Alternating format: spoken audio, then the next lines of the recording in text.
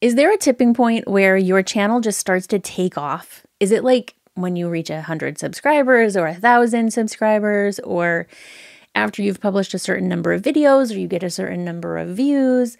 Or is it like you've been on the platform for a certain length of time? I got this question from one of my clients the other day. We've been applying the spider web strategy to her channel and building out her video topics around her lead magnets and her offers and really building a spider web around her niche. And she asked me this question Is there a tipping point? I wrote it down because I thought, gee, that would make a great topic for a podcast episode.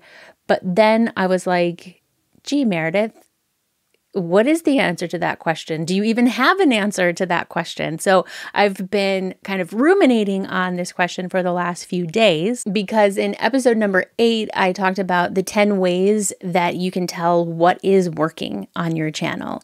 It's really easy to go into your analytics and pick out things that you think aren't working. But there's a lot of places where you can actually figure out what is working well on your channel. And then in episode nine, I showed you what to fix or tweak or change if you find that things aren't actually working the way that you want and if your channel is not growing. But if there was a tipping point, what would it be and how do we get your channel to the tipping point? We're going to talk about that here in episode 12 of the Video Brand Infusion podcast. My name is Meredith, and I'm here to help you infuse the best video marketing strategies into your channel so that you can build your audience and generate consistent sales and growth in your online business. And I totally get that you're probably like, good. She's going to give us a very clear, concrete, black and white answer to the question of is there a tipping point on YouTube and what is it? Because business and marketing and content creation is so much easier when you have a clear, concrete answer and you know exactly what you're doing and you're confident that everything you're doing is working and going to pay off for you. But I don't think it's quite that simple. And I have a lot to say on this question of what is the tipping point. But to be honest, if it was as easy as just giving a concrete answer, then everyone would have a thriving business and a thriving YouTube channel. The reality is, it's a little bit more nuanced than that. It requires a little bit more processing. So when I see a question like, what is the tipping point on YouTube? My first thought is, what do you mean by tipping point? So let's define what a tipping point is because to me, a tipping point suggests that things are going slow for a period of time and then something happens it reaches a tipping point, and then things just start growing really quickly and it becomes really easy and really smooth, and everything you publish just goes viral. But I don't think that's really a healthy expectation for YouTube because it's just not the norm. And I see this happen in my niche where sometimes out of nowhere there's somebody with like a couple hundred subscribers who all of a sudden has a video that's getting 10, 20, 50, 100,000 views and it's like what happened? What did they do differently? Um, what can we learn from this? How can I replicate that? And what I often, almost always see is those channels have to keep talking about that same exact topic over and over in order to keep getting those high views and keep their channel growing. And to me, that sounds unsustainable and honestly a little bit boring. So, what I think is a healthy way to look at a tipping point on YouTube is steady growth and confidence as a creator in knowing that the time and effort that you put into making your videos is paying off because your videos are reaching your intended audience. And I can tell you from my own experience in the last nine years on YouTube, there have definitely been videos every once in a while, usually at least like once or twice a year, I have a video that does way better in terms of like it gets way more views than a typical video for me would get. And early on, for the first few years, I would think, ah, this is it. This is the tipping point, I guess. I didn't have those words in my head, but I'd be like, aha, yes, this is it. This is where we start growing really fast, right? No, because it doesn't always last. It doesn't always stick. I think ups and downs that lead to steady growth and steady results is the norm. So when I think about a realistic tipping point, I think of three things. I think when your new videos that you publish are getting the same amount of views or more than what is considered typical for your channel, you have reached a tipping point because then you know that my new videos are reaching the audience that I currently have, the people who are the most engaged on my channel are watching my videos when I publish them. And YouTube gives you those metrics. YouTube gives you a green check mark in your latest video performance box in the back end of YouTube, which signifies that this video is doing fine compared to what you would normally expect from your channel. And if you get a green up arrow, that means it's doing better than expected. So if you have that happening consistently when you publish new videos, then I think you've reached a certain tipping point. The second thing is when your old videos, older videos, are also continuing to get views long after you've published them, a month later, a year later. That's another tipping point, especially if the topics that you cover on those old videos are aligned with the topics you're covering on your new videos. And the third thing is if you're getting some outside results from the views that are happening on your channel, meaning you have leads coming in, you're generating sales, of some kind digital product, course, program, service, coaching, whatever it is. You have some outside metrics that you are using YouTube to drive your ideal audience and your ideal clients and customers to. If those three things are happening on your channel consistently, then you've reached a tipping point. And I guess the way I think about it is if you continue doing what you're currently doing, then you can't go wrong. Of course, your channel is going to grow. Of course, your business is going to grow, right? Because YouTube knows who your intended audience is. It's getting your videos in front of them. It's driving traffic from your old videos. And you're getting the results that you need for your business in terms of leads and sales. Does it mean that all of that happens really quickly? Not necessarily. I think it means it happens consistently. So, what do you do if you haven't reached those three components of this tipping point that I'm speaking of. First of all, I'm going to say something and you're going to think, you're going to think to yourself, duh, I already know this, Meredith, but I want you to hear this again. The winning combination for getting results on YouTube as far as your marketing is that you're getting your videos in front of the right audience the, the right people are finding your videos, the right people are hitting play on your videos, they're choosing to watch your videos, and they're actually watching the video. Hear me out on this because it may sound like an oversimplification. Like, of course, that's how YouTube works. People are supposed to find your videos, they're supposed to hit play, they're supposed to watch the videos. That's YouTube, right? But if you can't make those three things absolutely irresistible to your intended audience, then you're not going to see a tipping point on your channel.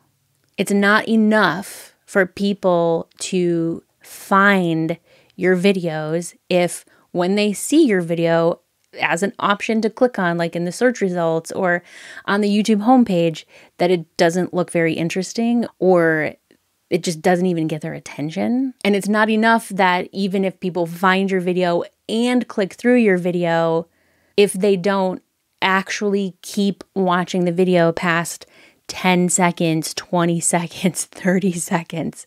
If they're bored right away, or if you're not getting to the point, or if you're not really giving your audience a compelling reason to keep watching the rest of the video, then what good is it if they found it and clicked play? You have to have these three things to kind of like work in tandem together in order to reach a tipping point on your channel. And there's a lot of subconscious decisions, uh, like almost all of the things that happen on YouTube our subconscious decisions. And a lot of times it's easy to take that for granted and try to like logic our way to what is a good topic, what is a good thumbnail, what makes sense to me logically. When the flip side of it is that your intended viewers subconscious is not using logic. It's just making snap decisions, which is why you have to deliberately come up with irresistible topics and intriguing titles and thumbnails and deliver your content in a way that entices the viewer to keep watching the whole video. And so part of that is being really clear on your niche. Who are you creating content for? What are you helping them do? Why do they even want that? Those three questions are the first three questions in my YouTube roadmap that I give to my members. And it's the questions that I ask my one on one clients to understand what they're trying to do on YouTube so that I know how best to help them. And I'm just now redoing my roadmap for the membership and for some other things that I have planned that I can't even really announce yet. But those are the first three questions because those are the most important questions. Who are you helping? What are you helping them do? Why do they want that? Years ago, I heard this quote from Tim Schmoyer, and I don't know where it originated from, but he's the person that said it where I first heard it, which is a train is only free when it's on its tracks. And this resonated with me so much with YouTube and business and really life in general but sometimes we, as creators, we want to just have the freedom to create whatever we want to create and make videos about whatever we want to make videos about. But if you want to pick up momentum, if you want to grow your audience, get results from the efforts that you're putting into YouTube, there has to be some structure in place. So I love the quote a train is only free when it's on its tracks because there's always two rails to a train track in my mind, one is the who, one is the what. And there's always a destination where it's going. And that's the why. Why are we going there? Where exactly are we going? What exactly are people trying to achieve? Because if you want to craft irresistible topics, it's really hard to do that if you don't know who is going to find this topic irresistible. That doesn't mean that every title or topic has to spell out in words who it's for, having a clear understanding of who exactly you are creating your content for is like an internal thing that you need to use when you're coming up with your topic ideas, when you're coming up with your video ideas, when you're figuring out what exactly am I even going to say in this video and what does the thumbnail need to look like. And I'll be honest with you, the who can sometimes be really hard to define. I know for me, early on in my channel, I changed my who a lot. When I first started my channel, I was, I wanted to help. This sounds so silly now, by the way, but I wanted, in my mind, I wanted to help moms create fun to watch home videos. Okay. So, with their phone or their fancy camera or their GoPro camera, in my mind, I was helping moms because I was a mom, am a mom. And I was the one that was like recording stuff and playing with photography. And once I started creating the content, I noticed there are no moms commenting on my videos, and my audience demographic and my metrics are showing that it's very much skewed towards men. And it seems like a no brainer now. And moms, if you're out there, gadget girls, you and I need to stick together because there's not very many of us. Most of the people out there that are using their phones and their GoPros and their cameras to capture their family memories are the dads. So I quickly pivoted my who in my mind and thought, okay, I'm not just talking to moms. And over time, it changed and evolved. The who changed and evolved. The what changed and evolved. And the rest is history. Now we're here. and I 100% think that I was much better off at picking a who and just going for it and evolving over time. So, one rail of your train is the who, and you have to nail the who in order for the train to like go on the tracks. The what has always been easy for me, but I do have clients and students who run into having trouble with the what. They know their clients and customers, they know their intended audience, and they're very specific and very clear on that. And then they get tripped up on the what. What am I creating content about? A really common mistake is picking a niche and saying, like, okay, I'm going to make videos about this niche. You don't really make videos about your niche, you make videos around your niche. If your niche is postpartum weight loss, you're not making every single video about postpartum weight loss. You have to make videos around your niche. What are the other problems, products, solutions, ways that people are trying to achieve postpartum weight loss or having trouble with postpartum weight loss. Those are the topics that you would be making your channel about, which is sort of the basis of the spiderweb strategy that I teach inside of my membership. I had a call this past week with somebody who did a product review of something. We met and she said, My most recent video is not doing very well. I pull it up, it had one view, and it turned out that the product that she was reviewing, she didn't put it in the title. She just didn't put the name of the product in the title. The name of the product wasn't in the thumbnail. And that's such an easy fix, right? It's such an easy fix, but it's like one of those little details that not everybody sees or notices or thinks to have in there. So if you have trouble coming up with what to create your content about, or if you're creating content on topics and not really getting very many views, just take a look at your titles and ask yourself wait, am I communicating what this video is actually about? Am I clear in the communication in the title of what the video is about? Easy fix. So you have your who, you have your what, and then where is the train going down the tracks? Where are we headed? Why are we going there? What is the why of it all. And again, this isn't something that has to be stated in every single video, but it's something that you need to know internally when you're planning your content. So, is there a tipping point on YouTube? Yes, but the expectation that suddenly things are just going to take off for you, I think, is not the most healthy way to approach YouTube. It's about consistency. So, to summarize, when you have new videos that are getting good views or better than what is normal on your channel, you've reached a tipping point in that you know the videos that you're publishing are getting in front of the right people, they're getting in front of the right audience. The algorithm knows who of the two and a half billion people on YouTube might be interested in watching your video. And number two, your old videos are continuing to get views and bring in subscribers. And then number three, you have some outside results, leads, you're building your list, you're making sales, you're generating some type of revenue from the content you create. When you have those three things working together, then you know that what I'm doing is working, my strategy is working. I can just keep doing what I'm doing and it's going to work because as your audience grows, your revenue flows, right? Once you have all those things in place. That is the tipping point. When the machine that you created is working for you and you're actually getting some return on your investment of time and energy in terms of leads and revenue. Now, one of my favorite ways to build a machine that does generate traffic and leads and sales with YouTube is a set it and forget it YouTube funnel. And this doesn't even have to be a high ticket program, or it doesn't even really have to be a program or a course. It could just be a YouTube funnel to your lead magnet. But when you infuse your lead magnet, your messaging, your offers into your YouTube channel, then if you happen to have a video that does suddenly get way more views than all the rest, congratulations. It's been infused with your messaging and your offers, and you have a way of funneling people to your email list.